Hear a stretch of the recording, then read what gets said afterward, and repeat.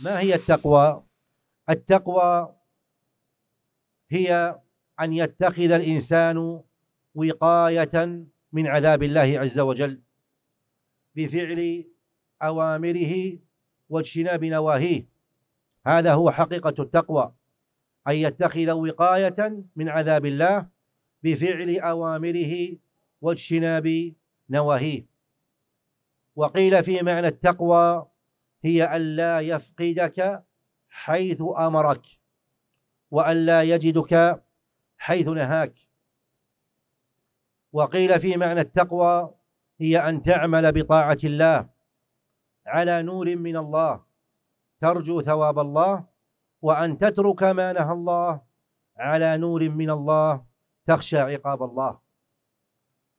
وقيل في معنى التقوى أيضا خلد الذنوب صغيرها وكبيرها ذاك التقى واعمل كماش فوق أرض الشوك يحذر ما يرى.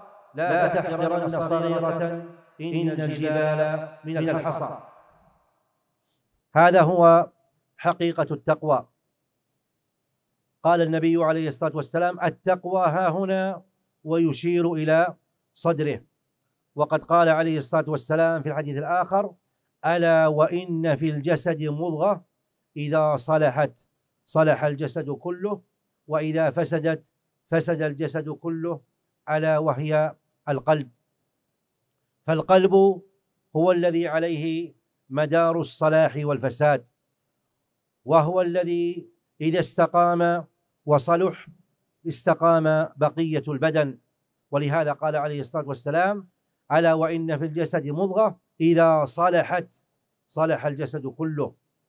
إذا صلحت صلاحها بالإيمان واليقين وتقوى الله تعالى. صلح الجسد بالأعمال الصالحة.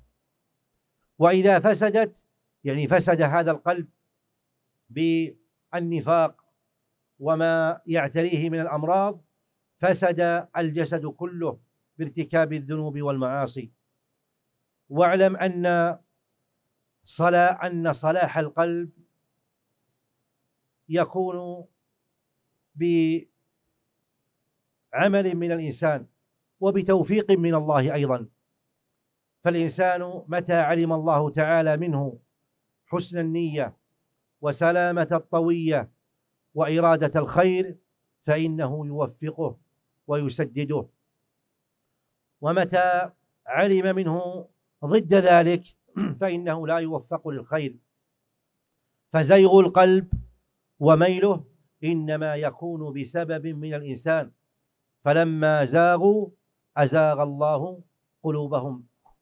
فعلينا أن نعتني بصلاح القلب واستقامته.